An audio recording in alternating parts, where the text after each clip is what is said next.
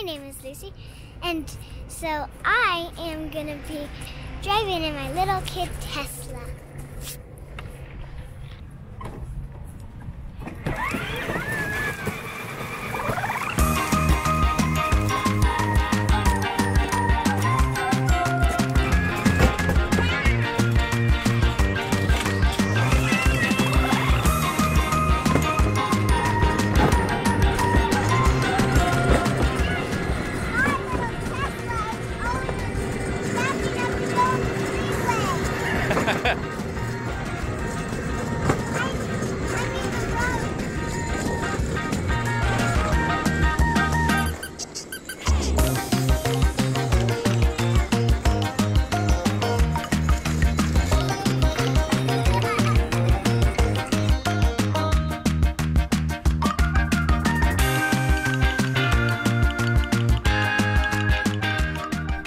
This is our little kid Tesla and the kids just love it.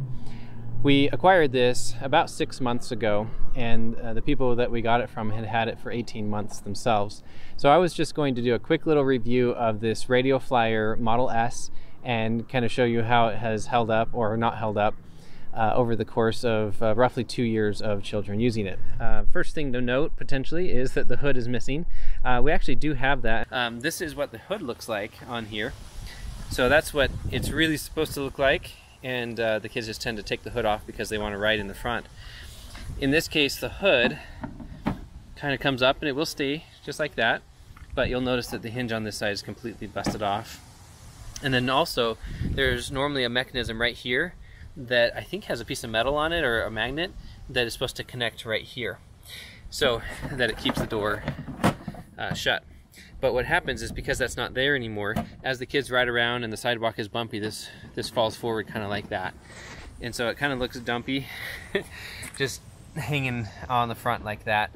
So that's one other reason why we tend to just leave it off. If we continue on around the vehicle, you can see there are many scratches and, um, you know, signs of use. Uh, and then here on the back, it is missing the trunk cover as well which the kids are actually totally fine with. They don't even probably know that that ever existed.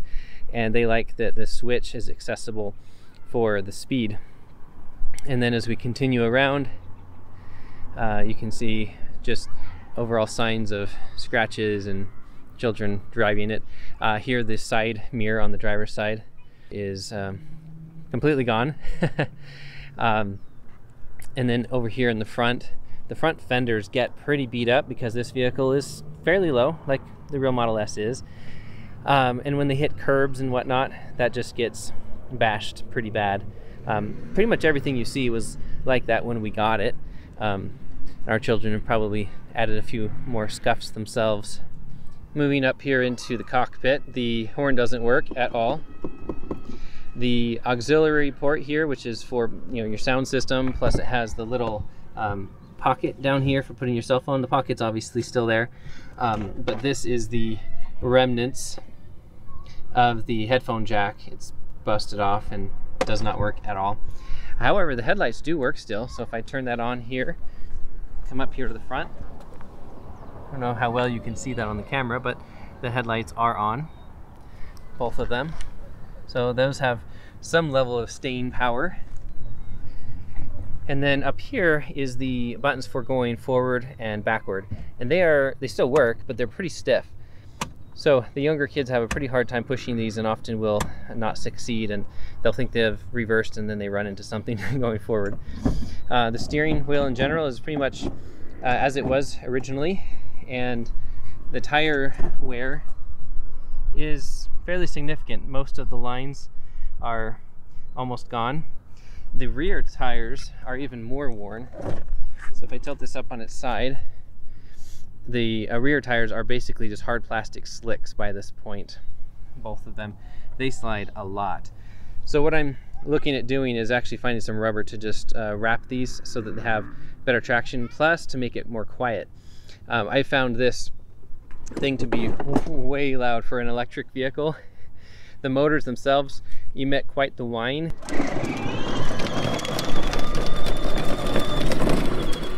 And uh, the uh, sound of the hard plastic on uh, gravel and, and rocks that are on the pavement just make for a pretty loud ride.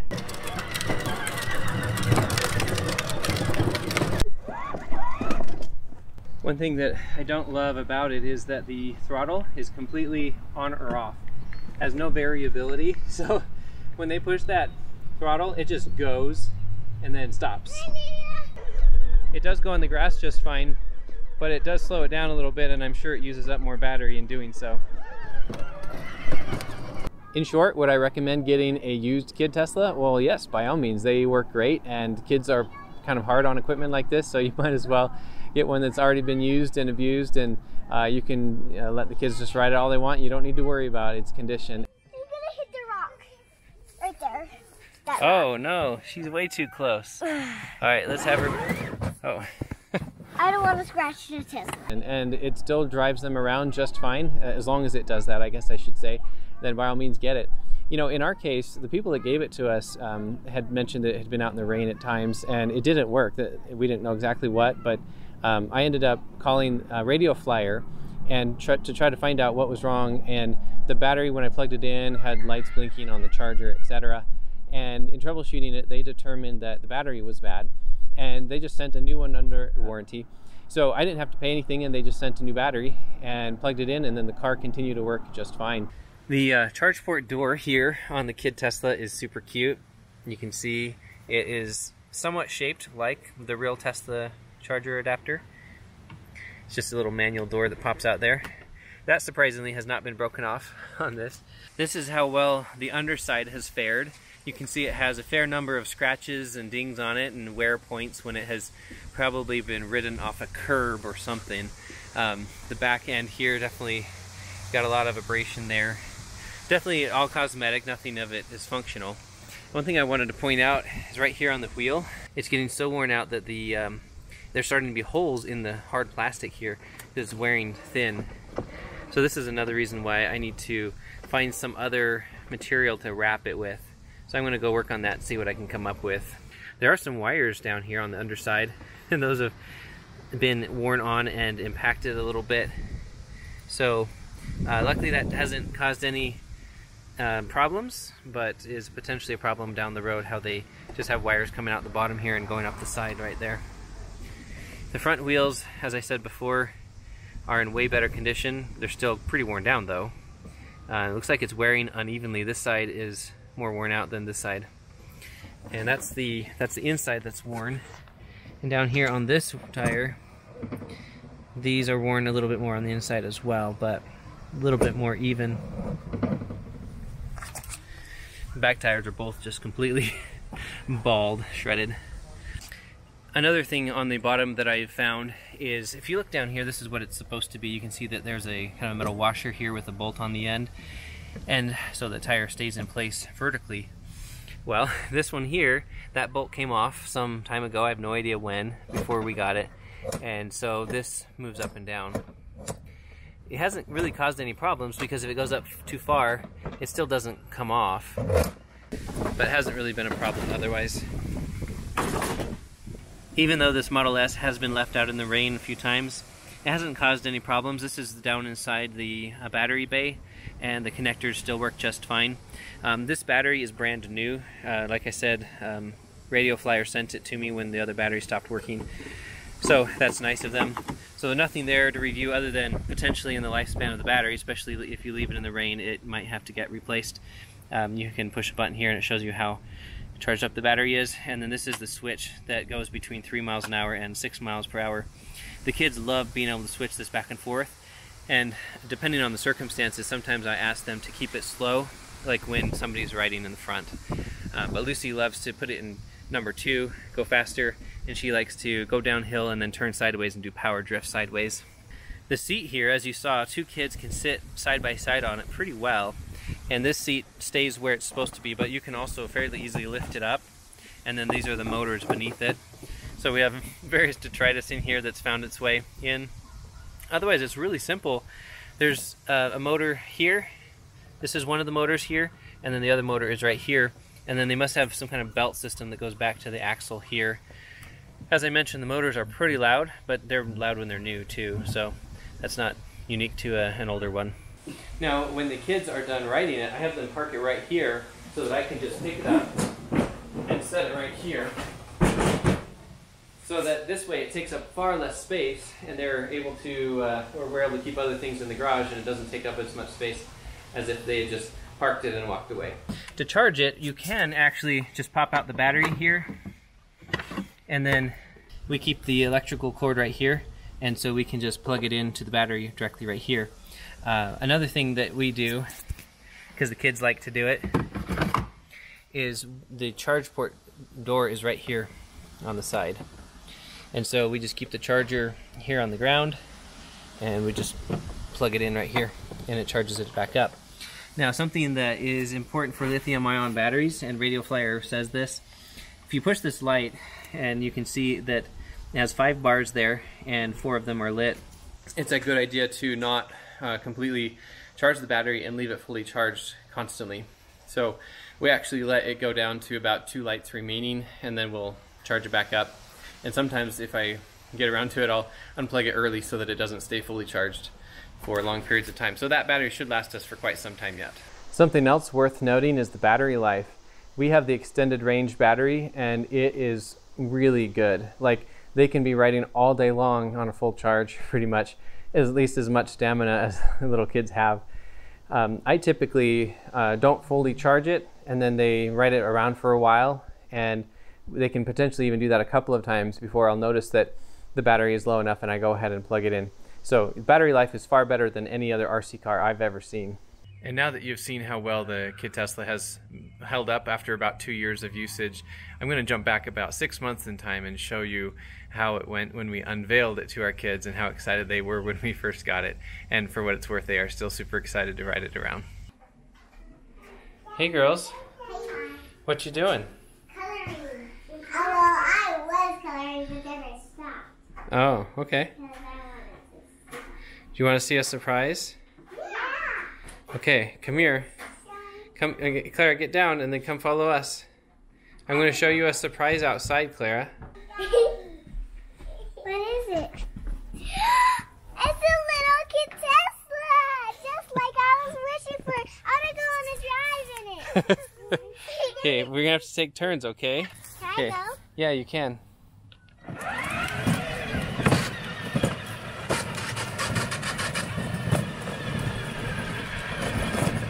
I'm not entirely sure what that weird grinding sound is, but it goes away after a couple of seconds. okay, let Lydia have a turn.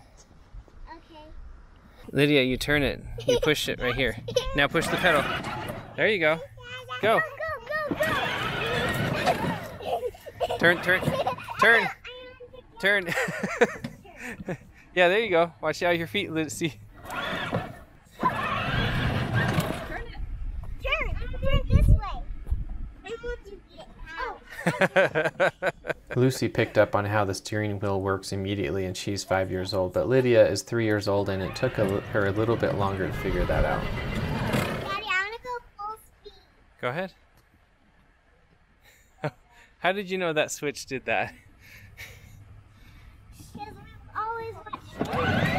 For quite some time prior to getting this little kid Tesla, I had watched some YouTube videos about it, and the girls had wanted to watch those and asked for them often. And so she said there, I've always watched the videos on YouTube, I think is what she said. Oh no, back up and then go forward again. Now go forward. Now come back. Those hard plastic tires definitely leave traction lacking. And you can see that Lydia has much more confidence in how to drive it and how the steering wheel works now.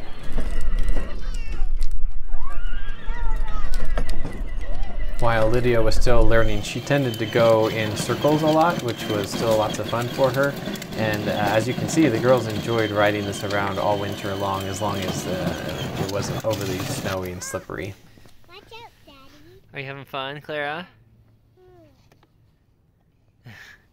Go, when this was recorded and the girls were first given this uh, Kid Tesla, uh, Clara keep here going, was Clara. almost two years old, go, and go, she definitely struggled for a while to understand the correlation between the steering wheel and the way it's turned, and that it affects the direction the car was going. So she oh, understood to push the, the accelerator pedal, and it would go, and then she'd just Clara, go off on the grass constantly.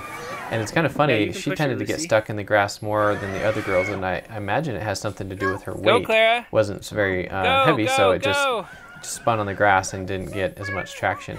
So the other girls were constantly being good sports about it and were helping to push her around. Clara, turn, you're gonna as hit you the can rocks. see here, and um, she'd still just run into things. So she just didn't understand that she was still steering okay, at that go. point. Push it, Clara. Push it. Can you help her, Lucy?